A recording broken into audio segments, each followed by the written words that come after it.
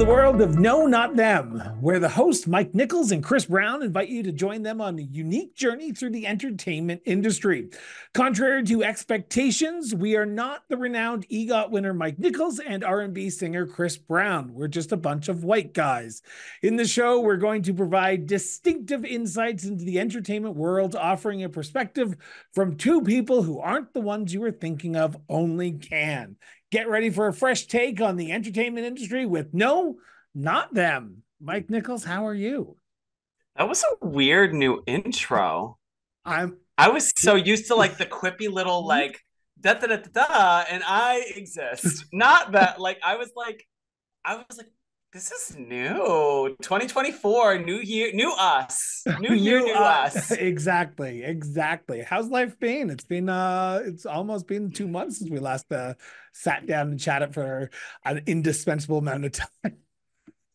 I mean it it's been a minute um and like it would not be filming if i was not suffering from some state of ailment um so that's always exciting and thrilling um uh, if, no, if you're tuning good. in for the I, I hate Taylor Swift uh, bandwagon, uh, you're not going to get that this time because Stop. Mike Nichols seems to be actually on, uh, you know, proper medication here for two seconds.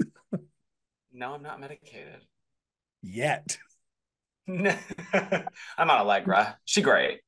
Um, no, listen, why are you trying to get everybody to cancel me? It's like your hobby, I think. 2024. Some things don't change. How are you? How's your how's your I don't know if Canada has a life, liberty, pursuit of happiness thing, but how's that? Yeah, True North Canadian? strong and free. True North how's strong and True free. North strong? How's your True North strong and free? We are good. Uh, it's been a busy fucking two months. I will be the first to admit that it has been uh, just a whirlwind of trying to keep up with everything going on in the world and keeping up with the everything going on in the entertainment world, which I will be the first to admit was not a good month for me because I've been focusing on the show, uh, expanding on the other shows that I do. So it has been just jam packed, and we're sort of getting ready to do a lot of traveling over the next few months. So we're trying to make sure that I have the proper flights booked and the proper hotels booked. So that has been my month and a half. And then dealing with clients, I've been hosting uh, sort of panels that are across Alberta. So I've been doing a lot over the last almost two months. Vibes. so True North, strong and free. True North, strong free. So we have a lot to unpack, but we want to start because it is award season, as Michael so eloquently pointed out to me at the beginning of the uh, interview. Well, not interview at the beginning of the uh, show uh, before we hit the record button. It is award season, so we're going to probably be talking about the award season for the majority of the show today. So I'm just going to be upfront and be blunt about that. It is award season, so what do we should do on the entertainment show about hosted by two white people who are gay talk about the award seasons, of course. Not the best dress because God forbid Chris actually talks about fashion in this world because his best thing about fashion is Old Navy. So, with that, let's talk about the Oscars because they are the most prominent story that has come out in the last probably like five days since recording this episode. Um, I want to get your initial reactions, Michael. What did you think of this year's uh, Oscar nominations? We're going to talk about these. Oh God, he has a piece of paper. I have the ballot. I'm already working my way through like getting all the films and things. I'm a crazy person. It's fine. I wouldn't say that, but okay. so, what was your initial thoughts on the Oscar nominations that came out earlier this week as we're recording this episode? I feel like a lot of it was very predictable, but then there was a lot of like very weird picks that kind of occurred. Um, I just feel like there was it was like a good mix of like very predictable, but some of the snubs were big. Like in some years, the snubs are like, okay, that's yeah, I can see it. But this time there was a couple of very obvious, like, oh, we just not gonna do that. Got it. That came up. Which we're gonna talk about the snubs here in a few seconds, but to me, I, I I couldn't agree more. and I think this is the first time 2024 we're starting a new year, so of course we're going to be in agreement with some things, but it was kind of predictable. Like Yeah. there was nothing here that I went, oh, this is a new movie I've never heard of. Every movie that I had like usually, like look at last year, right? We had Bill Nighy from uh, uh I forget the name of the movie that he was nominated for for Best Actor. Kind of in the middle of nowhere, you're like, oh, what's this movie? I had never heard of it. It had come out of the BAFTAs, but this is basically transposing the Screen Actors Guild, the Emmys, the Golden Globes, or not the Emmys, but the Golden Globes, and basically cut and pasting the nominees. And I'm not sure if that's because 2023 had just a horrible year for movies because of the Screen Actors Guild and they pushed a lot of things back. But it didn't really impress me this that much this year for the Oscar nominations, to be completely blunt. Well, I'm just shocked because my husband and I started watching. Normally, we have like a very crazy long list of things to watch. Most of the films, if you watch the best picture, you pretty much can hit every everything in a single category most yeah. of the categories. So it's like that feels weird to me. Like normally the acting categories are populated with like things that aren't even in the best picture category. There's only the one part. There's only one movie that the actors got nominated and the best picture didn't. Nyad and Color Purple. Oh yeah, Color Purple. I forgot about Color Purple. Yep. So, it, which is weird because, like you said, traditionally there's like about four or five, but this year it seems again maybe because oh, and Rustin. Sorry. Okay, so three. So just ignore what I said at the beginning of the this X segment because I don't know what the fuck I'm talking about and I didn't do my research prior to recording. This. I so, clearly yeah. didn't either. I'm looking down and going like, "Oh wait, no, that one too." Okay, so you know, so let's just reverse. Oh, I can't believe there's only three movies that weren't nominated for Best Picture that were nominated for actor and actresses. Jesus, Mother and Joseph, play with me here. Come on, come on. Vibes. We're vibing. We're going. Um, We're riding before we talk about the sort of the big six categories the directors the picture or the actor actress supporting i want to talk about the one big controversy prior to the oscars being coming out and that is adapted screenplay and I, oh, I saw yeah. this. So there was a big push that Barbie was going to be nominated for Best Original Screenplay. But the Oscars and all its Oscar Academy wisdom decided no, you're going to be judged in the adapted screenplay.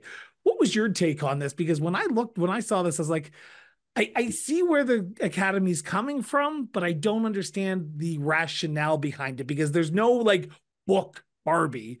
It's about a doll, for fuck's sakes. I'm starting by that logic. By that logic, though, Maestro should be in the adapted screenplay. Like it, there's no book that it was adapted from. There's no book Barbie was adapted from, but it's based on a commonly known IP, commonly known story. Hence why it, it was like they purposefully were like trying to sabotage that category to make it a more competitive category versus original screenplay. If Barbie was in there, would have won. Like point and blank, period. Yeah, Whereas if I, it's an adapted, I have some comments about that in a few minutes here because once we've d- talked about the all the awards, I'm going to lay out some predictions here, just in because we usually do our prediction show a week before. We're going to do the actual who we who we think is, but I'm going to make a major prediction at the end of this segment after we're done talking about this. Um, Unhinged. I'm I'm ready. I didn't looking so documentary features documentary short films the live action shorts the best uh, animated shorts these are ones that i'm actually interested in watching because i will be blunt i've seen all but one movie in the best uh the top six categories and that's the color purple because i just haven't been able to find it in a streaming service or a platform that i can uh, make it readily available to me. That being said the those four categories that i just talked about I'm actually kind of interested because there seems to be some that are kind of intriguing, in my opinion. The shorts? Yeah, the shorts and even the documentaries. I watched a ton of the shorts last night. Um, I really like the documentary shorts this year. Okay. The, I've been able to, to ABC's of book banning is I want to say on Hulu. Uh, Barber of Little Rock and Last Repair Shop are both on YouTube. And the Last Repair Shop is on Disney Plus. Oh, yeah, The Last Repair Shop's on Disney Plus. Uh, Barber of Little Rock's on YouTube. Sorry. And um, ABC's of Book Burning is on Disney Plus in Canada for those Canadian followers. Perfect. If you're like, outside of Canada, I don't know. Fucking find it out for yourself. It's called Google. I think it's on Hulu. I do think it's on Google. Hulu. The ABC's a book man. Um, and then Nine Nine and Waipo is going to be on Disney Plus next month, allegedly. okay. And the island in between. Where'd you find Uh, that? I couldn't find it. I'm Okay. trying. Okay. Um, but uh, the one thing I will say, I know we're not like talking about snub snubs, but like the animated short everyone was predict like everyone was predicting to win was the 100 years of Disney animation and it didn't even get nominated. So like that category is fully up in the air right now because everyone's predicted winner was that and it ain't even there. I think a lot like usually these four are the ones that are the traditional and I don't want to say this rudely because I think all their the craftsmanship that went into every single one of these films even if it's a short is wonderful. I think it's traditionally how do I put it without being rude a throwaway category. And I say that because the majority of people I would assume who are voting members of the academy are not probably sitting down and watching every single one of these. I just in the short period of time that you have between now and the Oscars, you probably don't, or the voting date, you probably don't have it. I hope they do. I'm going to try my best to try and find every single one of these. I just do not expect it to be um, one that's contentious. That's the issue I find with the shorts. It's so hard to get access to all of them. Like Unless you're an Academy most- member and they send it to you. most and they most of the time they don't like Really? it- it- it's one of those it's one of those things like i they uh a local place uh we have a local small theater that will do all the shorts as a like watch through thing i'm thinking i might just do that this year and pay the ticket price to go sit in a theater and watch them back to back like that because they're just so difficult to get and to find i feel like every year i'm like struggling the most to find anywhere that I can stream these, watch these. Like every once in a while, they'll pop up on YouTube and they'll be there for like an hour and a half before YouTube takes them down. And I'm like, God bless whoever tried to put that on there. Like it's it's and a lot of the times the shorts don't actually get put on streaming until after the Academy Awards are done. Uh, Apple TV did that last year with I think the boy, the wolf, the fox, the horse, the hen, the cockadoodle doo, whatever it was. That very long one that actually won the Yeah. Oscars, if I'm not mistaken. Um. Can we all just agree right now? We know who's going to win Best International Feature Film because they were nominated for Best Picture. I mean, and from what I've heard, Zone of Interest is incredible. There was a lot of um international and foreign language films that got nominated for Best Picture though. Yeah, but usually, traditionally, Oh yeah. Oh, Zone of Interest is fully winning. I'm just shocked Anatomy of a Fall is not in international feature film. me, I, I am as well. I am extremely as well. And um, oh, what? Perfect Day. Perfect Day. Is it Perfect Day? Yeah. Past Perfect Lives. Days. No, Perfect Days, the Japanese film, because I watched it. It is a fantastic movie, highly recommended. And I thought it was going to be, and that's we're I know we're talking about snubs a little bit here already, but I think that was snubbed for Best Picture. Interesting. I've not really jumped into the international feature films yet. Um, I was mostly waiting because I just there's so many countries, and I'm not about to watch just a bunch of random ass international films that with no clear shot of if it's nominated or not, because I don't have that much time. True, true that. Um, so we had a sort of record breaking. Uh, John Williams was nominated for his like 98th millionth fucking Oscar for Indiana Jones and the Dial of Destiny for best score. So I I I think he said he has going he's uh retiring, but Robbie Robertson, God bless him, Canadian, uh posthumously nominated for Killers of the Flower Moon. So there's going to be a probably a toss in the best original score, uh, best original song. This one actually, I, I I actually listened to all the songs prior to uh the well not prior but prior to this recording. Um, there's some good ones. There's some interesting ones, and with everything that went on at the, I think it was the Golden Globes. The Globes. where Ken won. Oh yeah, Ken won. Not what was it made for? Yeah, not f- like yeah, and a lot of people were like, "What's this all about?" So I think there's going to be a race there, or we could see a split. Overall, everything else pretty straightforward. There was nothing in the costumes, film editing, cinematography, hair, and makeup that I was shocked about.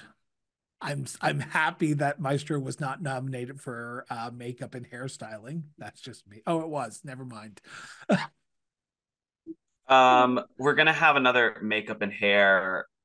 Uh, yeah, Ma- Maestro's there. Maestro, Oppenheimer, and Poor Things, which means one of those movies is going to win an acting category, a leading actor category, probably because usually the makeup and hairstyle co wins with an acting category, and I don't know why that happens. It just does. Um, which I think it's gonna be Poor Things with Emma Stone is my initial gut. Well, understandable. Hmm. Okay. Um, overall, it doesn't seem like there wasn't any big shockers. Uh, I, I had never heard of Godzilla minus one for best visual effects. I am so happy that Napoleon was nominated for best visual effects. God bless really? Him. God bless him because I watched the movie and I went, oh God, uh, Ridley Scott has gone crazy and he is no longer the gladiator movie that we came to love. the, Napoleon's the one I feel like everyone I've spoken to is like that got a bunch of nominations. And I'm like, I guess I've had so many people who've watched Godzilla minus one that have like turned it, it liking it into a cult that are like so mad that it only got for visual effects because they're like, it should be in best picture. It should be in best international film. And I'm like, slow down. I haven't seen it yet, but like slow down. It's a Godzilla movie. the Godzilla movie. It doesn't make that much. Okay. Maybe it was best foreign film. Anyway. Okay. We have taken a lot of time, and I know our listeners and our viewers will probably want us to talk about the top six. Sure. We're going to go in order here because there's one category that I think is going to be very contentious on this show. So I, I want to start with Best Supporting Actress. So Emily Blunt, Danielle Blook, uh, Brooks, America Ferrera, uh, Jodie Foster, and Da'Vine Joy Randolph. Hopefully, I pronounced them their names all correctly. I think I did. If I didn't, I apologize. Um, there is some pretty good talent here, and yeah. I don't see anyone on this list besides America Ferrera, who I was shocked. Ferrera, Ferrera, whatever, Ferrari, who I was shocked at. I honestly, I look at that list and I go, yeah, that's the list I would have chosen too. Would you agree? Mm, yeah, I, I would agree. I think there's definitely something to be said about Rosamund Pike in Saltburn. I really do think there's something to be said that she had a place in this list. I'm gonna be very, very real. I probably would take, and I love her. I love her. I would have taken out Emily Blunt or Jodie Foster for Rosamund Pike.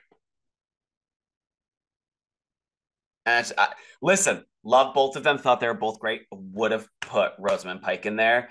And the fact Saltburn got nothing is mind boggling to me because, especially since it was on so many like media publications top 10 movie of 2023 list, for it to get zero is just it doesn't make sense with my fantasy, as Valentina would say.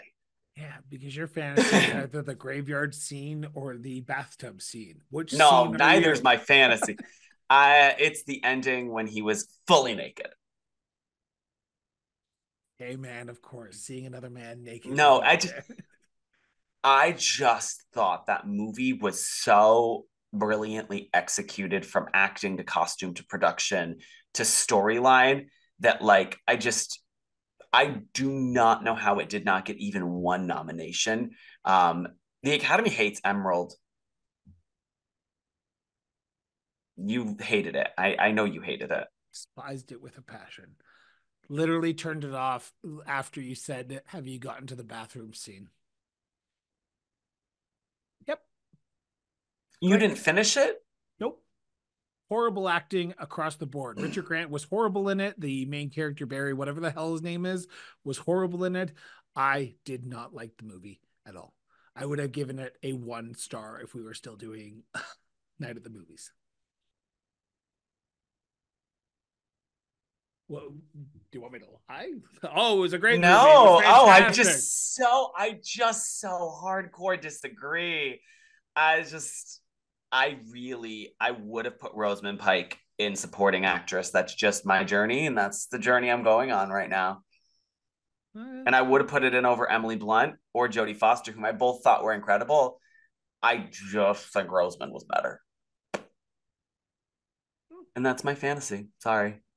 Uh, best supporting actor, uh, Sterling K. Brown for American Fiction, Robert De Niro for Killers of a Flower Moon, of the Flower Moon, sorry, Robert Downey Jr. and Oppenheimer, Ryan Gosling as Barbie, and Mark Ruffalo as Poor in Poor Things.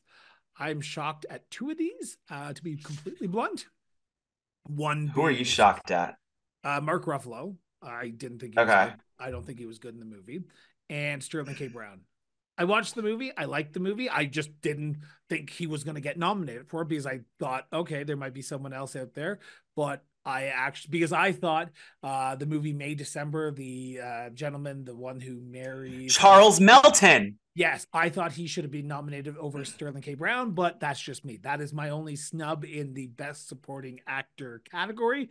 Overall, though, I'm pretty content you kind of see where the winds are blowing in this category, as they traditionally do in the best supporting uh, categories.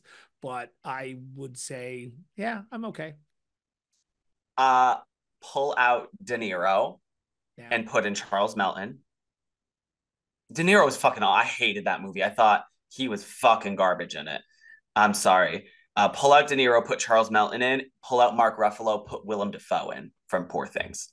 That would have been what I would have done. Okay, I can see Willem Dafoe over Mark Ruffalo. I thought Willem Dafoe was incredible in that movie. I just Mark Ruffalo is fine, but I but think like good, it, right? He wasn't like, oh my god, I'm watching. You, you're like, I'm watching Mark Ruffalo right now. Willem Dafoe, you're like, no, like I, I just I've seen Mark Ruffalo's asshole how many times now? Like, it's fine, it's lovely. The acting was fine. I just think in terms of if we're gonna do one supporting actor, I think Willem Dafoe should have gotten it. I think Willem Dafoe's performance was so much better. Um, I do think, you know, Charles Melton really just was spectacular in May, December. And like, I, I'm surprised perfor- Portman he, didn't get nominated for Best Supporting Actress in that. Or Julianne Moore. Julianne no, Moore, Julianne Moore, I think, is supporting, and Natalie is. Um, they went in for a lead. Oh, okay. Well, either way, I'm surprised neither one of them. Like the movie was agreed, well done. Like, oh, like, the movie was brilliant. Like especially the end, you're like, holy, like Natalie just goes crazy at the.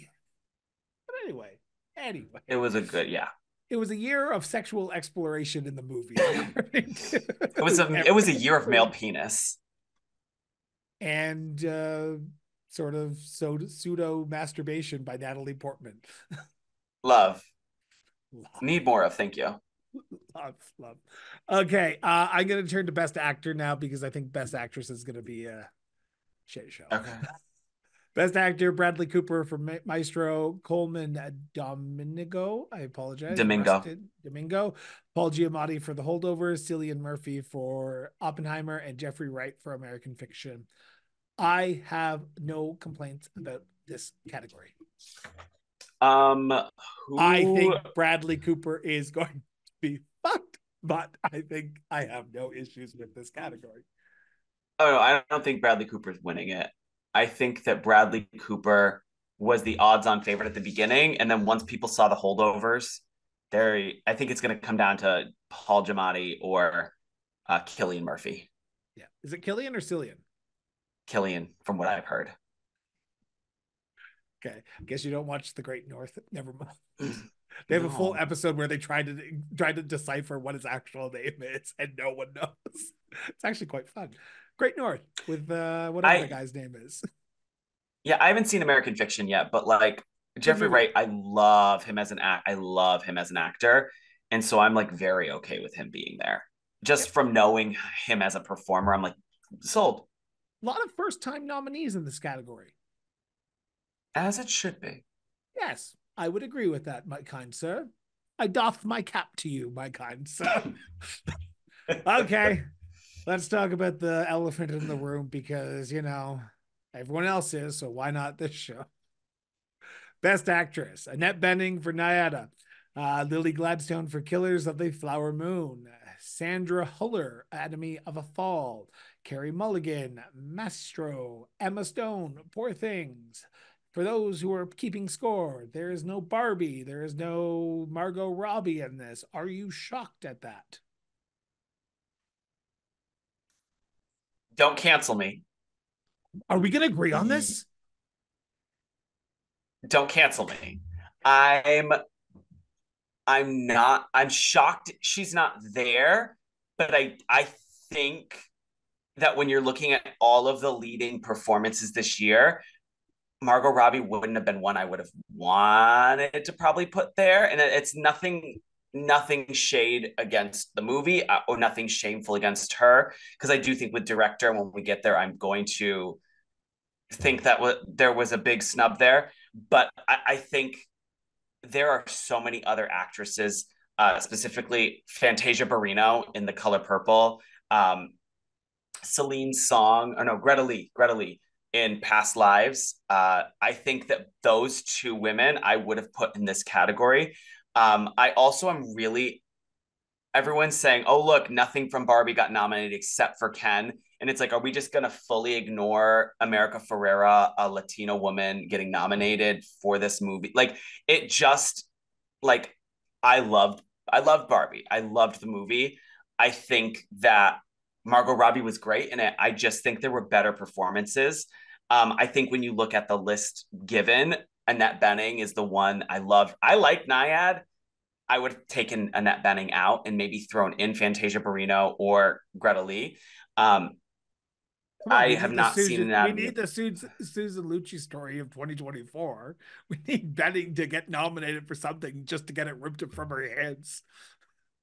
Um, yeah, I've not seen that Anatomy of a Fall yet, so I think Sandra Huller is the one that people are looking at that stole Margot's nomination, but it's like Barbie was a great movie. Margot did a great job. She just got outplayed by folks, and it's it's a shame, but it's just it's the industry, and that's just my opinion. And I can and you can tell me I'm wrong, and I'm okay with being wrong. I, and I'm not saying I hated the movie. I'm just thinking that when I with all the movies I've seen so far, I think she just got beat. I agree. I am so happy you and I agree on this because every time I hear people complaining, and don't get me wrong, she was fantastic in the movie. I probably would say yay. She was probably one of the reasons why it did so well. But I look at it and I say, which one of these actresses would you remove that? Who do you think is not worthy enough to do it? Have you seen Anatomy of a Fall? And the majority of people who I ask say, no, I haven't. So I'm making a judgment call on things that I do not know. So wait till you see Anatomy of a Fall, which is fucking fantastic. Spoiler alert, there is going to be subtitles. Spoiler alert, it is fun. But I am looking at these and I'm going, I'm content with this. I you have a two horse race in this category right now, Emma Stone and Lily Gladstone. I think it's going to be very competitive. I would not be shocked if a third person wins this because there's a vote split because they are two very strong uh, candidates. Yeah. But overall, I, I, would, I would even say the same thing about Best Actor as well, right? Paul Giamatti and Cillian Murphy are two very strong candidates to win Best Actor this year. Either one of them, I would be okay with either one of Gl- yeah. Lily Gladstone or Emma Stone, I'd be okay with. I have my preference right now, but overall, like if my gut feeling I had to tell, if I had to say who I was would vote for today, I would know. But I'm content with this. This is not a shocking five people for me. But that's just and then I think that this then maybe leads us to a conversation for a lead role, for a conversation about maybe category expansion Yes, like they did with the best picture, go from five to like seven or five to 10. I don't know. Maybe seven is the appropriate number. I don't think 10 is because I think 10 would just be sitting there for three hours listening to people ramble on list of names. And yeah, honestly, it's already long enough. I don't want to sit through another four hour. Uh, like if I'm going to see a three hour thing, I, would watch Oppenheimer. No, I agree. I'm going to watch a three hour Academy broadcast. That's just me. Um, best director. Uh, this is going to be a little bit more contentious, I think, because you and I will vehemently disagree on this. Best director: Justine Tourette, Anatomy of a Fall, Martin Scorsese, Killers of the Flower Moon, Christopher Nolan, Oppenheimer, Yorgos Lanthimos, uh, Poor Things, and Jonathan Glazer from The Zone of Interest. Again, Greta was not nominated for this category. Uh, Michael, I am assuming you are shocked, you are appalled, you are gooped, gagged, and gone. I mean, not shocked and appalled. The Academy is the Academy and they do what they want and they have their one singular woman in there. I think it would have been a much stronger category and a much more competitive category had we put in Celine's song for Direction of Past Lives and Greta Gerwig for Barbie. Um, and you're going to ask me what I would take out. I'm going to be real with you. I would take out Killers of the Flower Moon in a heartbeat. Um, and I would, I think, take out Oppenheimer. I would have taken both those movies out. I thought that they were they there was great moments. I just mm, that's what I would do. Sorry. so we're gonna get to the big reveal here in two seconds but I'm going to disagree with you vehemently on this. Um, I say that because someone of Greek descent, great, great movie, Poor Things, amazing movie, Poor Things, fantastic movie, totally Zone. Interest, Love it, great movie, beautifully directed, got amazing things out of their characters. Martin On the list, haven't seen it yet. For me, I haven't seen it yet. So I, I, Killers of the Flower Moon. I may agree with you a little bit on that one, but I wouldn't have put Barbie. I would have put Past Lives in it. Uh, well, yes. That so that's where I would have. I don't. It it, it harkens back to the old uh, Barbie. She was good in it. Margot was great in it, but it wasn't the best. It wasn't awe inspiring to me. Greta did a great job. Loved her. Loved her work in Ladybird, but I just look at it and I go, I look at these five movies, one of them I can see moved out. If there was top seven, maybe be nominated, but I do not think it was the best directed movie of the year. My personal opinion. I don't think it's the best directed, but I think it's one of five. I think it's definitely a top five. I would put Barbie, especially with the cultural moment and like how well like navigated it was. I've not seen Anatomy of a Fall or Zone of Interest to know if I want to take them out yet. I may may change my mind and say pull them out, but I just felt Oppenheimer was so slow paced. Killers of the Flower Moon was so slow paced, and that's not good directing. If I'm sitting there so bored out of my fucking mind, like that's not good directing. That's not good editing, and like that can. And then it gets both those categories. Both of them got both those categories, I believe, editing and because it has directing and then where's editing on here? Yeah killers of the flower moon Oppen- like you can't have a movie that slow pace where everyone even people that are like i loved oppenheimer they were like yeah there was moments i was really bored. And people who loved killers of the flower moon that were like yeah there was moments I was really bored. I'm like that's not a good direction. No part of barbie when i watched it did i feel this is really slow paced and i'm like needing to check my watch. And that's like that's a directing thing. Like it and same with I would even put uh, Emerald Fennell for Saltburn in this category. I would I would have an all women's category, and and pull out all the men from it. And I again I don't know Zone of Interest. I don't know Anatomy of a Fall. Um, so I, I may change my mind on that. I've heard Anatomy of a Fall is fucking incredible. So I'm I probably would keep that hands down. But like, I'm just Killers of the Flower Moon, Oppenheimer. Why? Like and that there's people who are upset Leonardo DiCaprio didn't get nominated. He wasn't even that good. No, sorry, I, no, no, no. Like he, like he is rightly deserved to be out of this category. that like category. He was just a horrible part. Like yeah. I would have given Brendan Fraser, and he had like ten minutes of screen time in that movie. a better ch- chance. But anyway, um, So there you go. It's going to be interesting to see who you actually pick at the end of this month when we only have these five candidates to choose from. Um, best picture: American Fiction, Anatomy of a Fall, Barbie, The Holdovers, Killers of the Flower Moon, uh, Maestro, Oppenheimer, Past Lives, Poor Things, and The Zone of Interest. What's your thoughts on this? Because this is where I, I give, give give my big reveal. I feel like I'm bummed, really bummed Saltburn is not here. I'm kind of bummed May December is not here. Um, I feel like those are two movies that really should be.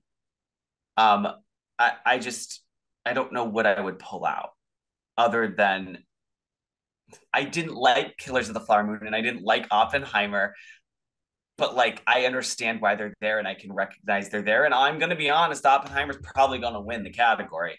But it's like I- have not seen four no of these films. You're saying because my oh, headset pulled your out, headphones so stopped working. Alicata. Go ahead. Yeah, like, and I haven't seen four of the films. I haven't seen American Fiction yet. I haven't seen Anatomy of a Fall. I have not seen Past Lives fully yet, and I've not seen The Zone of Interest yet. So I'm like, I don't know what I would pull out of here to put in May, December, or to put in Saltburn. But like, who knows? So I have seen every single one of these 10 films. I have been watching the winds of change happening over the last few weeks, the last few days as I'm recording this, I should say.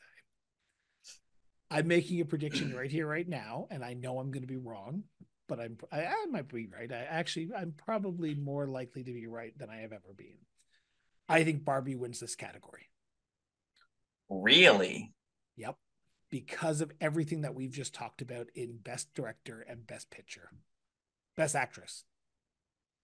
I think I'm not gonna lie. There's a groundwell of support now to say, okay, Barbie is going to win. So Oppenheimer is going to take best director, in my opinion. And I'm just putting that out there right now. I don't know all the other categories. This is the way I see that this is going to go on Oscar night in March. I think Barbie takes top picture because of the groundwell of support that's saying you can't have Barbie, you can't have Ken without Barbie. So we're going to give Barbie the best picture and it's going to be kept out of every single one of the other categories. Hence why I say this because it got because it got put into adapted screenplay, not original screenplay. So Maestro is probably going to win original screenplay. Best adapted screenplay is probably going to be Oppenheimer. Barbie's going to take best picture. You don't think Anatomy of a Fall is going to win original? Um, then, then they can say we don't have to give it to uh, Bradley Cooper for Best Actor. They don't have to give him to shit. He's been nominated nine times, and they don't care to give him anything. I know, but this seems to be the year that everyone's going to get like a first win. Um, but that's the thing. I think Barbie is a strong contender for production and costumes. I think costumes is going to go to Poor Things. I also think Poor Things is strong is a strong contender. I don't know. I'm like I haven't seen everything yet, so I'm very much like I don't know where I stand on a lot of things. I would That's like just my to, major I mean, prediction. I, That's my prediction. If you were to ask me who I, who is going to win Best Picture right here, right now, I would say against all odds, it's going to be Barbie. I think with Barbie, it saved. I mean, Meryl Streep said it. It saved our jobs it saved cinemas. People nope. flew out in numbers to go see Barbie. I disagree like, with that. No, Barbie's one of the highest grossing films. You can't disagree no, no, with no, the numbers. No, I disagree that it saved cinema. I think the only thing going for Barbie during that whole period, during July of last year, was the Oppenheimer Barbie debate. But then Oppenheimer would also more people decided we're going to go see Barbie because you're putting Christopher Nolan's trying to take the fact that a woman, a woman director is destroying, is going like attacking our ability to do whatever you want. I think the Oppenheimer Barbie debate, the Barbenheimer or whatever the fuck you want to call it, saved cinema in 2024. Three. Not just uh, Barbie. I don't know if I can co-sign that. I'm sorry. I mean, I think it's also like with, disagree with. This is probably just another sure. one of the things that we can tick off the box and say Chris and Michael don't disagree on something. I, No, but I think I think I mean that's a real reason too to put Barbie as a possible winner here. Like that's why when ev- everyone's like, "Why is Top Gun there?" and I think I initially said it.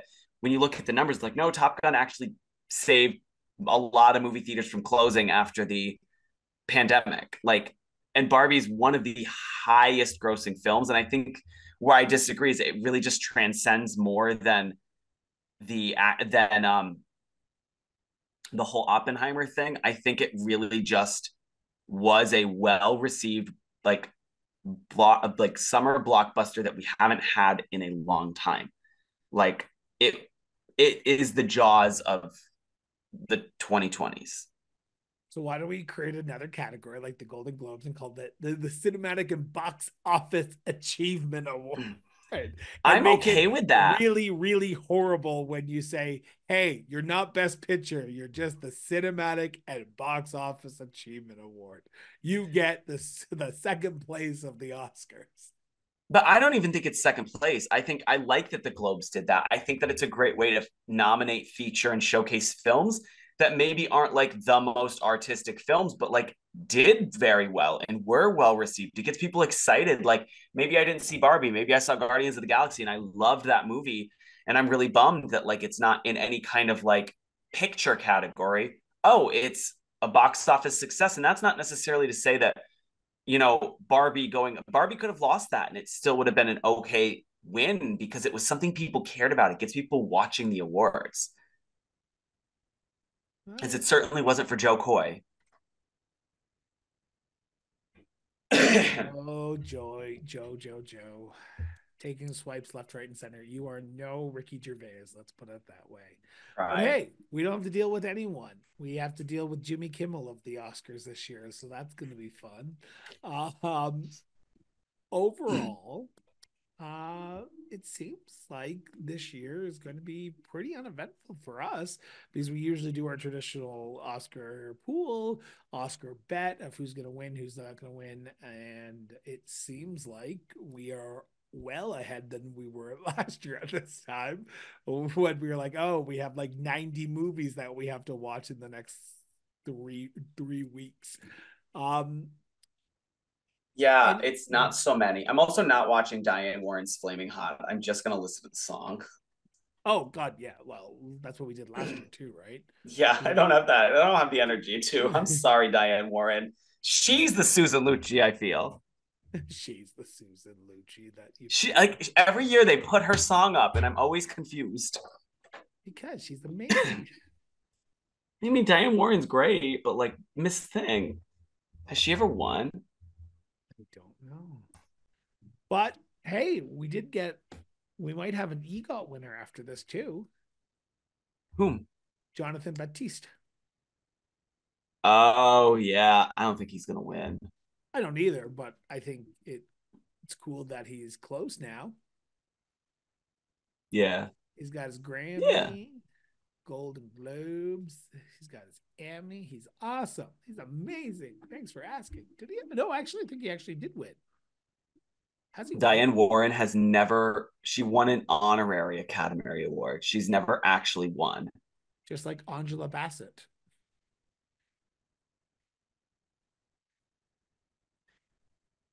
She Angela, has 15 the, nominations, though. Angela Bassett has two. Diane Warren has 15 and has never won. To quote John Mulaney, Angela Angela Bassett uh, getting nominated for a Marvel movie is like being nominated for a Pulitzer for a Reddit thread. Oh, I loved it. I loved it. I laughed so hard and then I cried and then I went, okay, I'm done. and then I went back to real world stuff. Um, Okay, uh, you wanted to talk about someone called Gypsy Rose. I don't know who the fuck this is. Uh, I guess this is important to me. I guess this is the thing that we talk about because you know why not talk about death after talking about the Oscars for twenty minutes or forty minutes? We just talked about the Oscars for like an hour, and then what are we going to end on? My girl Gypsy Rose Blanchard being free. Um, I just want to make I just want to make a prediction and I want to put it on the internet. I want to put it on Beyonce's internet right now. Yeah. So Taylor Swift's internet, don't you know? I want to put it on Beyonce's internet. Gypsy Rose Blanchard is going to in the next year announce a run as Roxy Hart in Chicago. I'm predicting it. She had it coming. She yeah, I'm predicting it. Like she is she's got this platform and she's like i'm going to be real honest with you. She is be she's a really good advocate for everything right now. And she when she went on the uh, the view and was like you know if you're in this situation we want to get you help. Don't go about it the way i did. And joy behar was like well no it's fine. And she's like murder is bad joy. It sent me. I just think she is a really it's like a really interesting position she's in because the internet turned her into a influencer.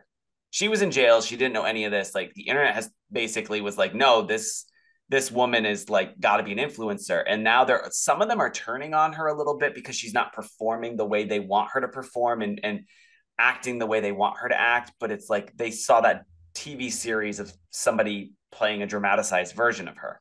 They never actually saw her and so it's it's just a whole very interesting psyche on like influencer and the internet and like i don't know i'm just she's fascinating as a human being.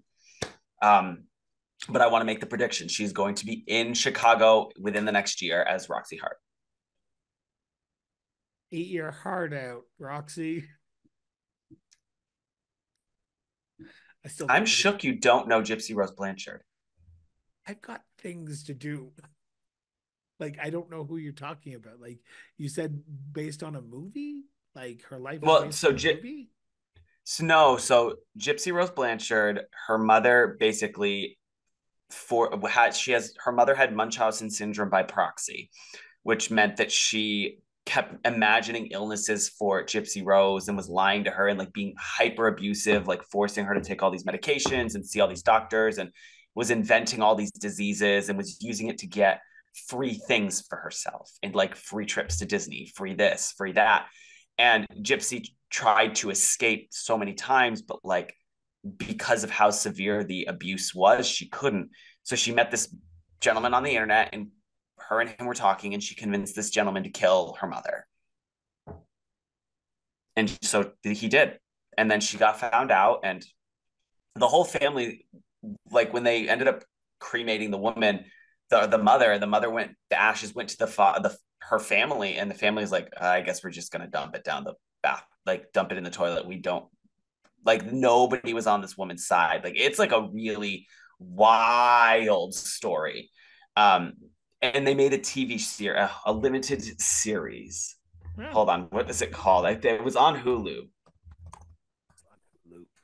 Hulu hulu hulu. Blah blah blah. The act they call it's the act.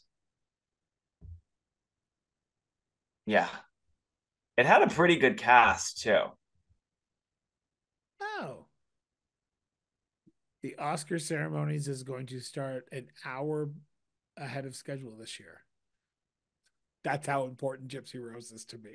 That I was reading something else while you were talking.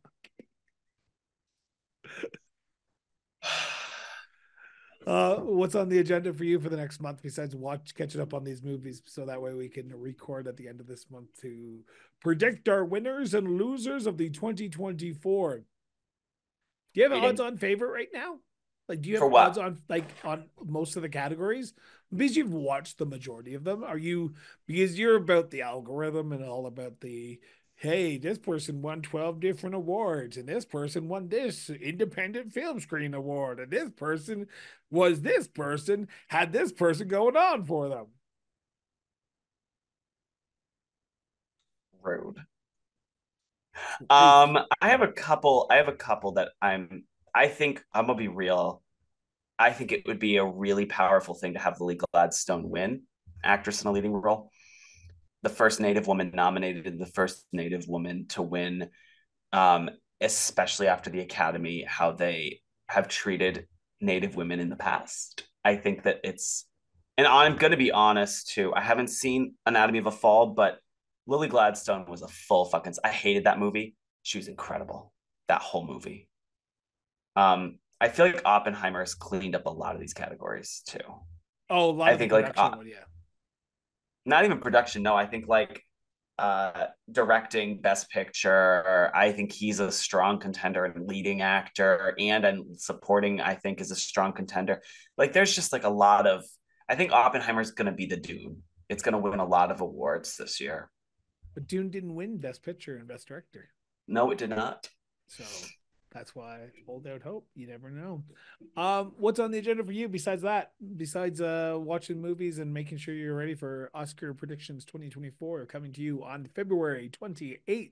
That's right, February 29th, I mean, because it's a leap year this year. So we're going to be recording on February 28th and be releasing it on February 29th for the Oscars to be on March 10th.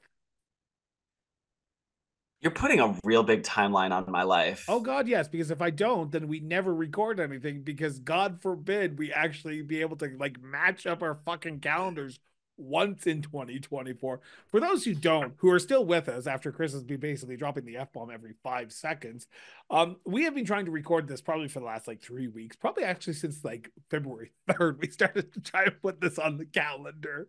it was before the Globes. It was right before the Globes. We were like, hey, let's do one right after the Globes. And then that became, let's do one right after the Screen Actors Guild nominations come out.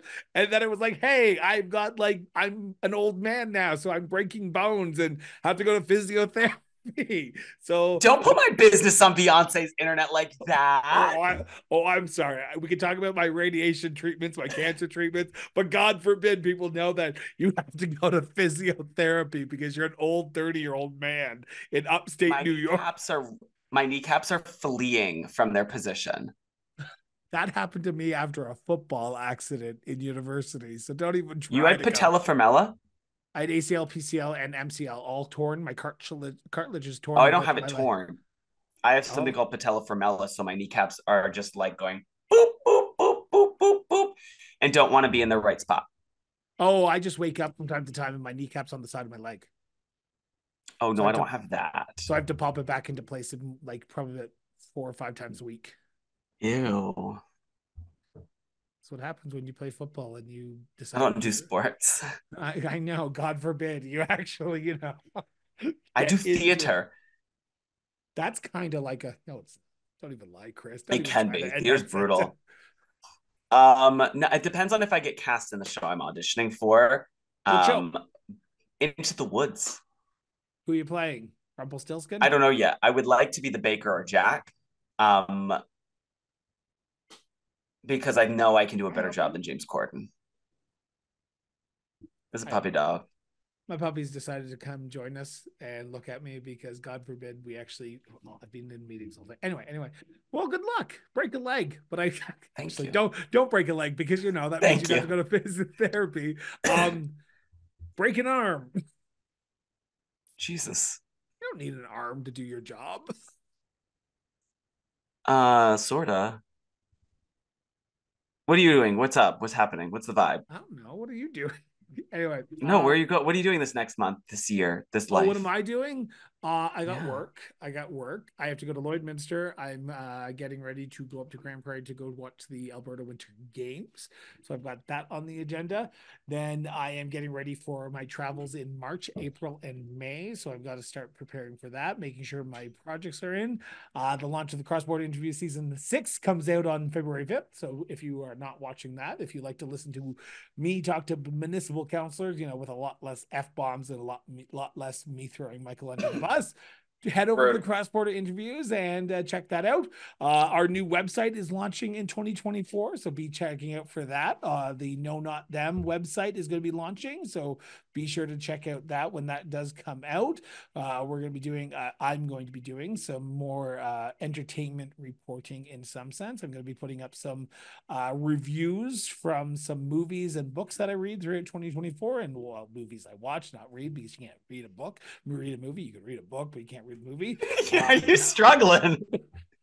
You've been in meetings all day. I have been in meetings all day, and I have another one at seven o'clock tonight. So you know, um, seven o'clock my time. It's like five o'clock your time. So blah blah blah. I'm like, hello. Um, and then uh, so that's gonna be launching in le- middle of February. Maybe Michael will be contributing to that probably throughout the weeks as well. Theater. For those who don't watch this and actually do uh, you know listen um that was michael's attempt to try to make it sound like he's gonna do something which is not gonna be the case because he went I did a thumbs up. No, I'll do it. I'll just do theater. I could do reviews, but my reviews are going to be unhinged. If you read my Goodreads, I've been starting to do the reviews there and they're just unhinged. I also read, okay, we have to level here. If you want book reviews from me, I read a lot of smut. Isn't that all that's get published these days? If you if you look No. at book Instagram for fuck's sakes, it's all smut, smut, smut. Oh, you got to read this. If you read this, you should read this because it's more smutty than this smut. Um, I must say though, the Dark Olympus series this is good smut. This is really good smut. The, This is si- all- the sixth and- book just came out. And for those who are watching, you can back that show. You can back the No Not Them show from now on. Uh, you can go over to the No Not Them once we actually do have it up and running. Uh, head over, get uh, exclusive behind the scenes look at what's going on, what's coming up on the show, some of our comments, and yes, maybe from time to time, some of my great analogies of how crappy movies are in 2024 compared to what they were like in the 18, 18, 18 1980s. Um, speaking of that, I just watched Girls, Girls, Girls with Elvis Presley. That movie does not hold up in 2024 compared to what it was. Um, what else did I watch? What else have I been doing? You hating on movies? Ground. Oh, I've been I've been playing Pokemon a lot lately. I don't know why. I've been playing Pokemon a lot, so I don't know what that's all about. I haven't even downloaded the downloadable extended content because I got it sent to me and I haven't even used it yet. But what I have been doing is playing Pokemon Go. So if you play Pokemon Go and you really want to have someone who plays on a daily basis, send a message to me because I play on a regular basis. And why not? Because you know I've got nothing else to do between meetings except sit in my fucking basement and play Pokemon Go. What else is going on? Um, I've been walking my dog lately. That's been fun. That's been overly exciting. And how are you? You just took like, oh, I don't even know where that. We just went on a journey with you, all of us. Wouldn't be the first time. I Won't be loved the it. last in 2024. Obsessed. Work. Work diva. Okay, well, with that, um, he has been Oh. Mike Nichols. I have not been Chris Brown, the, the R&B singer. I was going to say Chris Brown, the EGOT winner, but that's never going to happen. That's never gonna get it. Never gonna get it. Never like how Mike Nichols is never going to be an R&B singer. Um, as always, Michael, it has been a pleasure and a honor to sit down with you and talk about the entertainment industry as two people who are white, gay, only can, and not the people who you're thinking of. This has been No, Not Them. Peace out. Ah. ASMR. No. Whisper.